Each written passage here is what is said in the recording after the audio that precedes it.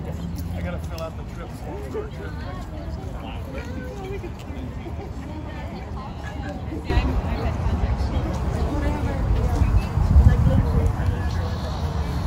Good afternoon and welcome. We're going to go ahead and get started. Uh, I'm Dr. Howard, the Department of Music Chair, and we are excited to have Kelsey Johnson with her junior organ recital.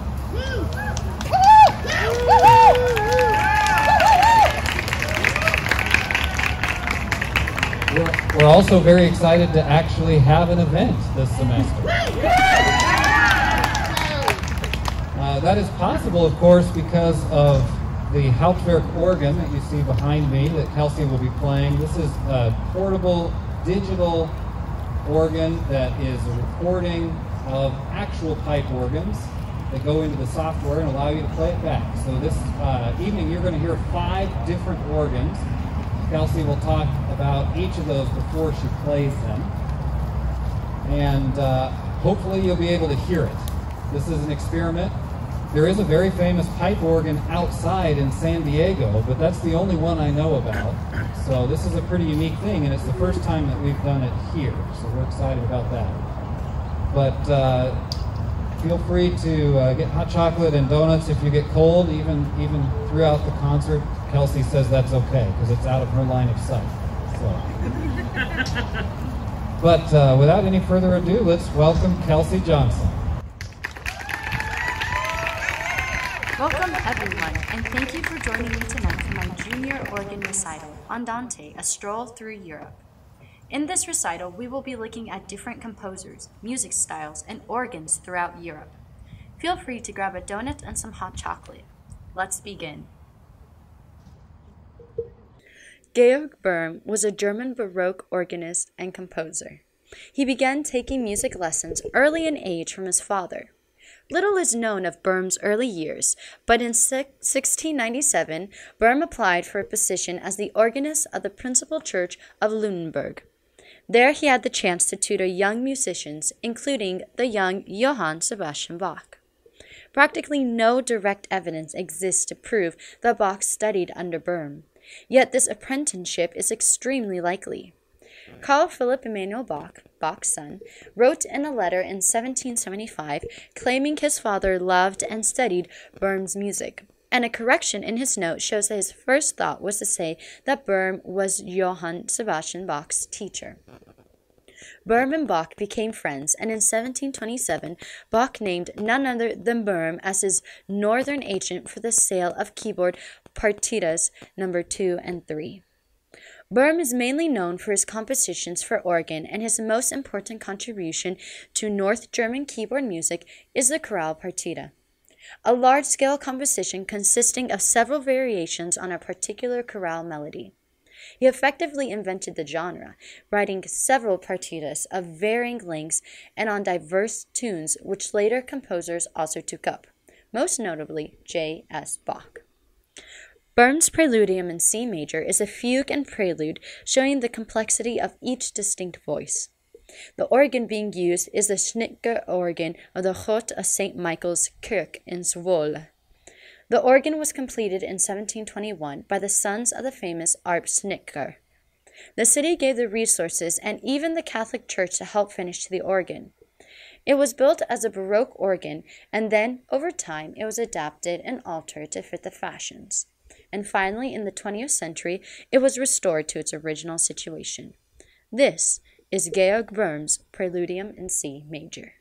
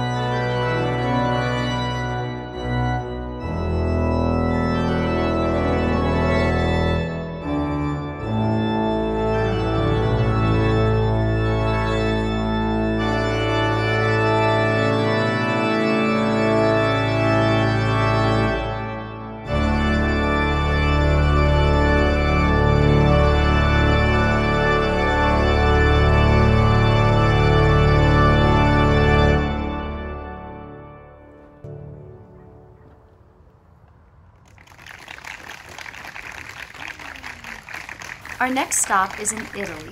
Girolamo Frescobaldi was a musician of the Duchy of Ferrara in what is now northern Italy.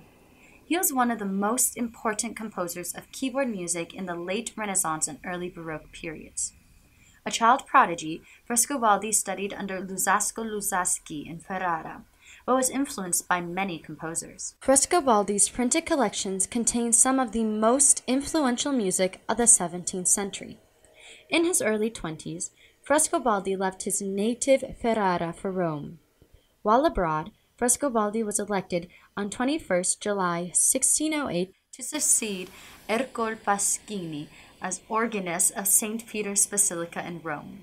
He also enjoined Enzo Bentivoglio's musical establishment after the latter settled in Rome in 1608 although he grew estranged from his patron after an affair with a young woman. A scandal involving competition between Bentivoglio and the Medici family eventually forced him to leave his position. Girolamo moved to Florence, Italy, into the service of the Grand Duke of Tuscany, a Medici. During his sojourn there, he was the highest paid musician and served as the organist of the Florence Baptistry for a year. Frescobaldi returned to Rome, where he continued working at St. Peter's Basilica. His work influenced Johann Jakob Froberger, Johann Sebastian Bach, Henry Purcell, and countless other major composers. Pieces from his celebrated collection of liturgical organ music, Fiori Musicali, were used as models of strict counterpoint as late as the 19th century. Frescobaldi is important for his numerous innovations, particularly in the field of tempo. Unlike his predecessors, he would include in his pieces sections in contrasting tempo. And some of his publications include a lengthy preface detailing tempo related aspects of performance. In effect, he made a compromise between the ancient white mensural notation with a rigid tactus and the modern notion of tempo. Although this idea was not new, Frescobaldi was among the first to popularize it in keyboard music. Contemporary critics acknowledge Frescobaldi as one of the greatest trendsetters of keyboard music of their time. Frescobaldi's toccatas and canzonas, with their sudden changes and contrasting sections, may have inspired the celebrated Stilus Fantasticus of the North German organ school. The organ that will be used in this piece was built in the 16th century by the famous Antegnati family in the Church of St. Carlo in Brescia, Italy. Italian organs tend to only have one manual, and some of the stops are split between the bass and treble to give the performers more options. Another unique thing about Italian organs is that each rank of the mixture is controlled by its own stop, so you can get a lot of variety of color. Please enjoy Girolamo Frescobaldi's Canzona Quarta.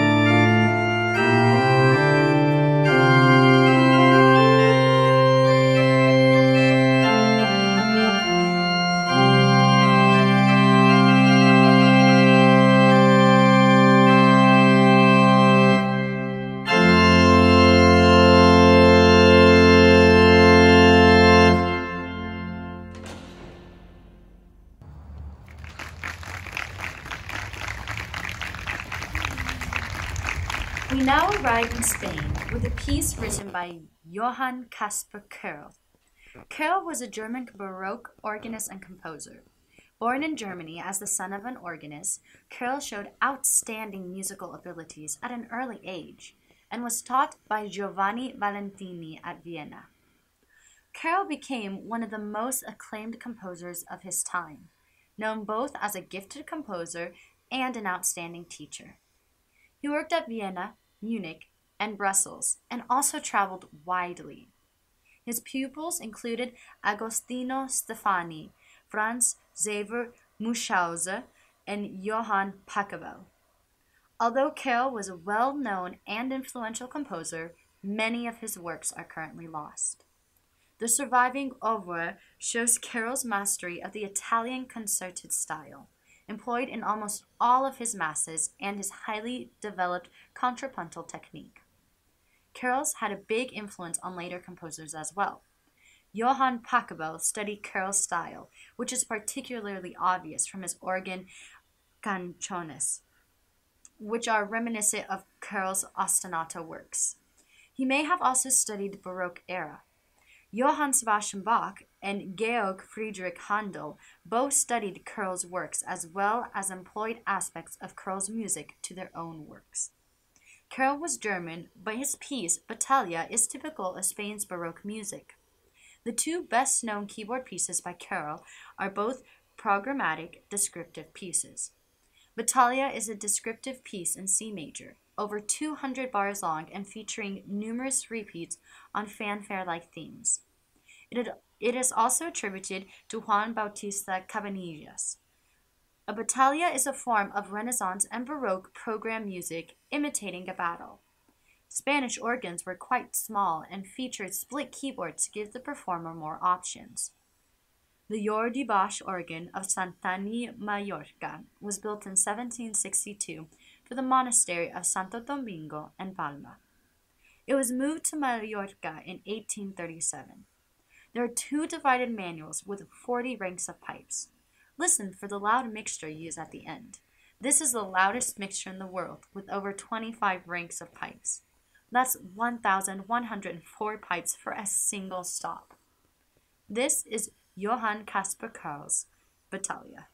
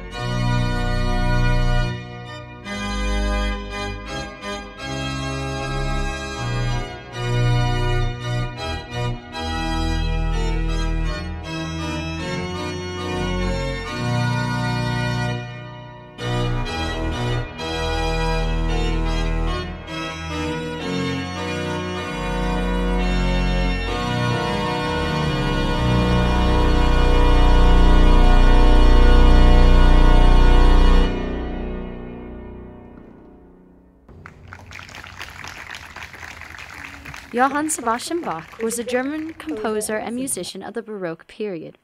Since the 19th century Bach revival, he has been generally regarded as one of the greatest composers of all time. The Bach family already counted several composers when Johann Sebastian was born as the last child of a city musician in Eisenach. After being orphaned at age 10, he lived for five years with his eldest brother, Johann Christoph, after which he continued his musical formation in Lüneburg. Starting in 1726, he published some of his well known keyboard and organ music. In Leipzig, as had happened during some of his earlier positions, he had difficult relations with his employer, a situation that was little remedied when he was granted the title of court composer by his sovereign Augustus, Elector of Saxony and King of Poland, in 1736. Bach enriched already established German styles through his mastery of counterpoint, harmonic and motivic organization, and his adaptation of rhythms, forms, and textures from abroad, particularly from Italy and France. Throughout the 18th century, Bach was primarily valued as an organist.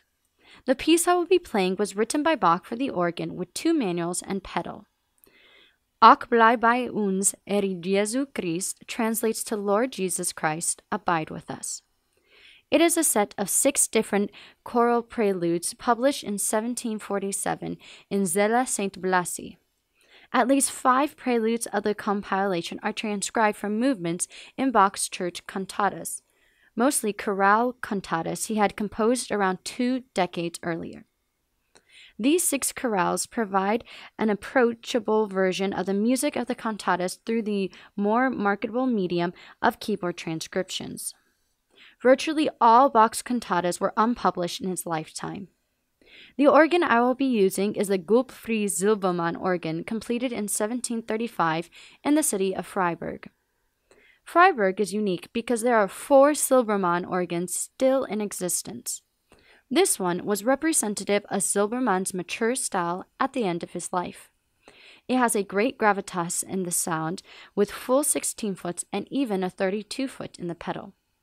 These are the types of things that Bach was constantly asking for when he would look at new organs built in central Germany. Enjoy Johann Sebastian Bach's Ach bleib bei uns er Jesu Christ.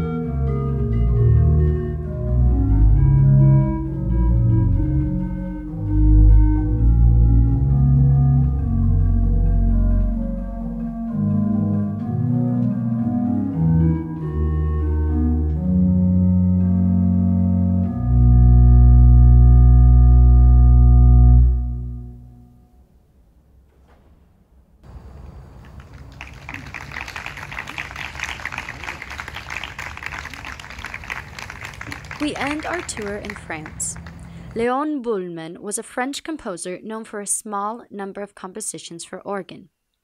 Boëllmann was born in Ensisheim, Alsace, the son of a pharmacist.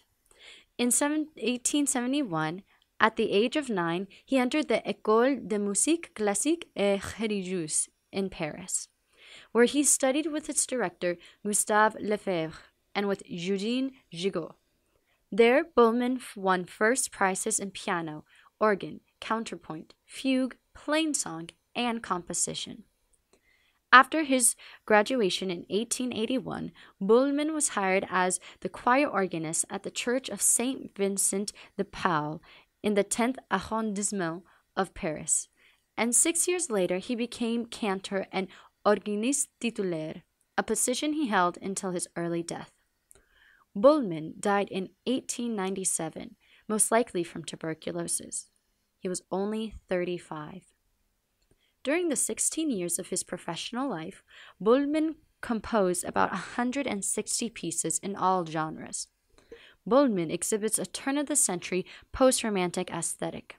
His best known composition is Suite Gothique, now a staple of the organ repertoire, especially its concluding toccata, with a dramatic minor theme and a rhythmic emphasis that made it popular even in Boëllmann's day. I'm using the Cavaillé-Coll organ located in Metz, France, and built in 1903. Cavaillé-Coll was a French organ builder. He has the reputation of being the most distinguished organ builder of the 19th century. He pioneered innovations in the art and science of organ building that permeated throughout the profession and influenced the course of organ building and organ composing through the early 20th century. The organ reform movement sought to return organ building to a more Baroque style. But since the 1980s, Cavaillé-Coll's designs have come back into fashion. Please enjoy Leon Boëllmann's Suite Gothique, and thank you for coming along with me on Andante, a stroll through Europe.